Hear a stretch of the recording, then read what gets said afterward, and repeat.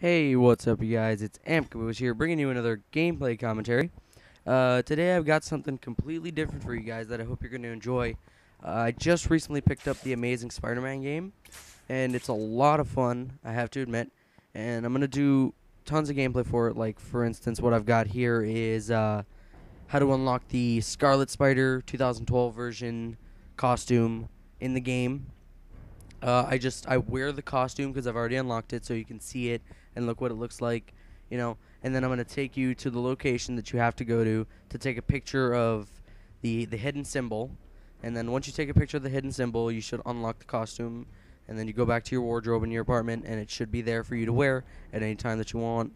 That you can obviously go to your apartment and get into it. But uh, yeah, I've got uh, a couple other gameplays like this stored, like uh, the Future Foundation suit, where to go to unlock that, the Spider-Man 3 black suit, where to go to unlock that, and then um, not where to go, but uh, how you unlock the uh, Spider Morph, I think it's called, costume, where it's like Spider-Man actually turning into a spider, and uh, it looks it's an awesome costume. I like it's one of my favorite looking costumes. Um, but yeah, so this is some gameplay of the costume. Sorry for the loading time earlier. I just I want to download this to my hard drive so it'll load faster, but it's just like I can't. I, I don't have enough space. But yeah, so here's where you go. It's just right in the middle of this park here. I I know it's New York, and a lot of people should know this, but I just for the life of me could not remember what it's called. I think it's like Central Park or something. I don't know, but let's skip that.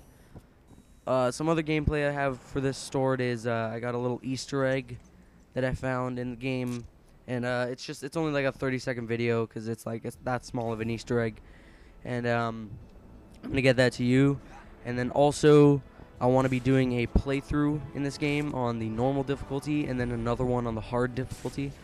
Uh, so yeah, it's gonna be uh, it's gonna be a lot of fun, and this game is really awesome. So I'm also gonna be doing a review for it, whether or not you should pick it up, you know, if it's a good game.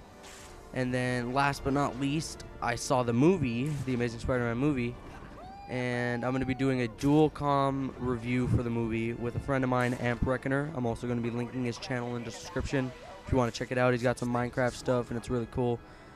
But uh, yeah, that's all I got for you guys. Uh, hope you enjoy this gameplay here. Just me swinging around in the city in the costume.